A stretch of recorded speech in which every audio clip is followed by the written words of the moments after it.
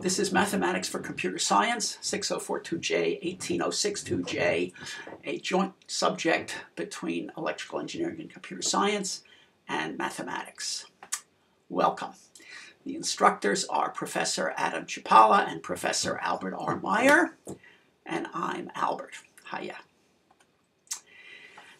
Quickly summarizing what this course is about, it's about the uh, math that computer scientists almost all need regularly and which you're not likely to have come across in your standard calculus classes.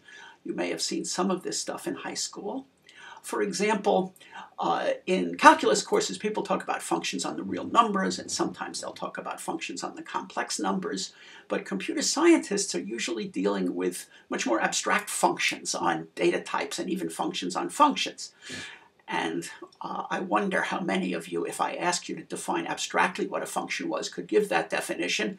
In a couple of weeks uh, in this class, you'll be able to do that with facility. We will also be talking about a variety of standard discrete structures, starting with the numbers, which we think of as a structure because it's the numbers packaged with the operations on them, like plus and times and exponentiation.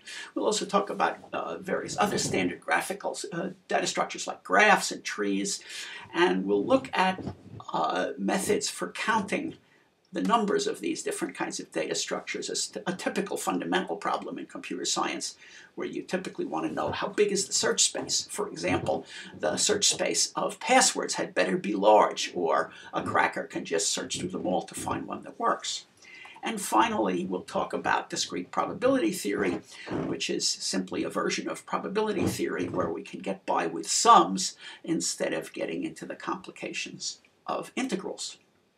So here's a quick sanity check uh, or vocabulary check. Do you know what discrete means? And I'll give you a hint, it doesn't mean discreet. If you don't know, this is a good moment to stop the video and look it up.